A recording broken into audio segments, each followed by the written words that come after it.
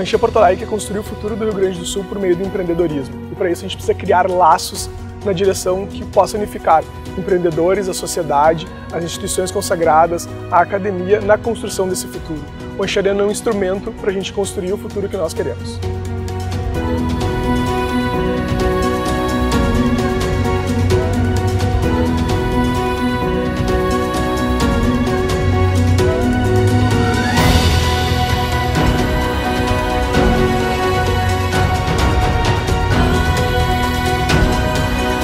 Segunda edição da Arena está consolidando esse evento aqui no Rio Grande do Sul como uma iniciativa extremamente importante para valorizar o empreendedorismo, ao unir os ecossistemas das startups aos setores empreendedores. E aí eu destaco o papel dos 20 anos da Amcham, que tem se colocado sempre para criar essa ambiência favorável ao empreendedorismo no Estado.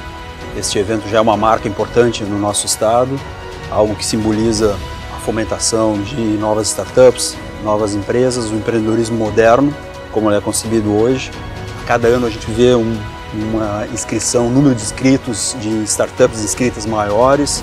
Espero que esse exemplo contamine o Brasil e traga cada vez mais é, iniciativas iguais a essas para incentivar o empreendedorismo no nosso país.